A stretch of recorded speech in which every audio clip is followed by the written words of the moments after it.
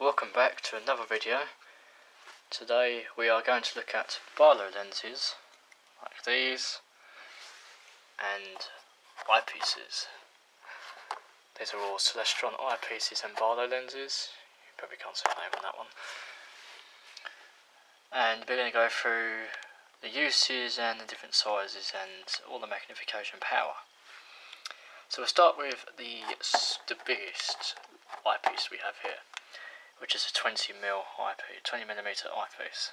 Okay, it's got quite a uh, quite a wide lens on this one. If I can get the fucking thing out, now it's stuck.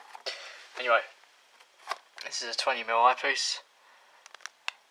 It's a low magnifying magnification power. We have a medium-sized eyepiece, which is a 12.5 millimeter eyepiece. I've written that on there by the way. You can see the observing side there. You can't see the focus inside. This is a smaller lens but more magnification and this is a 4mm which again is a really really small lens with a higher magnification power.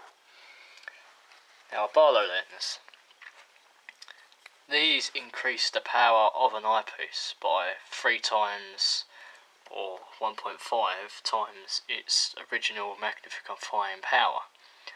So with a um, if you have a 20mm eyepiece and a 1.5 Barlow lens, you get a magnification power of 30 times. So 30 times magnification. With a 12mm you get 18, with a 4mm you get 6. Now with a 3 times magnification Barlow lens, with a 20mm you have 60 times, with a 12mm you have 36 times, and a 4mm you get 12 times mag magnification. So if you want the highest magnification, then you want to use a 20mm eyepiece with a 3 times Barlow lens, or you can use a 20mm with a 1.5 times. So, you see it says erecting eyepiece there and it says Barlow lens, but they do the same thing. Now, to know the magnification of your telescope, I have made this, which shows you the um, the magnification of the telescope. So on here it's got the magnet. So here we have a simple. Let's go back.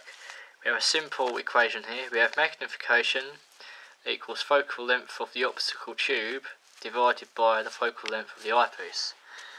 So here the focal length of the optical tube is 600 millimeters. Divide that by 20 millimeters, which is this eyepiece here we get 30 times magnification. That's just the eyepiece in its diagonal or straight in the optical tube.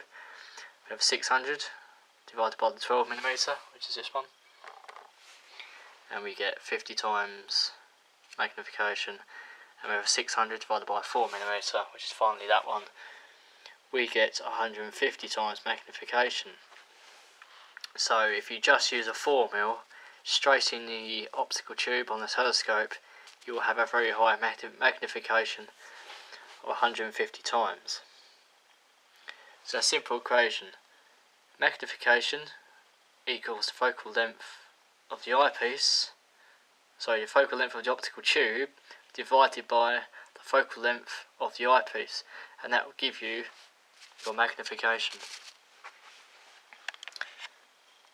And how these work, this eyepiece going to the back of here. Sorry, the, the eyepiece we're going the back of here, and this would go into your optical tube. You can put a di put it diagonal, put this into a diagonal and have the eyepiece, but you might not be able to get full magnification. The same way if you were to put this into the optical tube, uh, into the focusing tube, and you had that in a, in a diagonal, and you put a diagonal in there again, you still wouldn't get the full magnifying power I, I just put that straight in the optical tube, put that in there and use it that way. Hope you enjoyed this video. Please subscribe and like this video Up next, we will have a video guide on a device called a planisphere. Thank you very much for watching. Goodbye.